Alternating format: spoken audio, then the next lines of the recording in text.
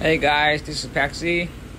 I'm trying to take his leader, but um, trying to his his rowdy, but it's 45. It's getting crazy for this guild.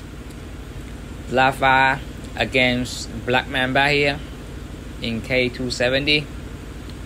That's the first bloody I have here from them. 45. It's crazy. Look at those T5, man.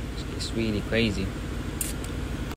I mean, I play this on my phone and I don't have more storage to record more videos.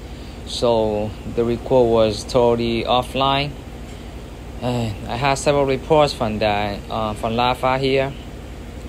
But anyway, thank you for watching my, vi my video.